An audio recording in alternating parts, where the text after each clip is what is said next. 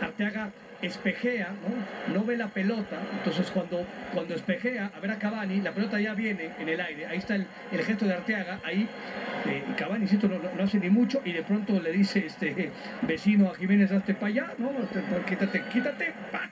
lo avienta y luego la, la acaba empujando puntualmente. Sobre todo eso, ¿no? la falta de capacidad de reacción, porque lo que bien menciona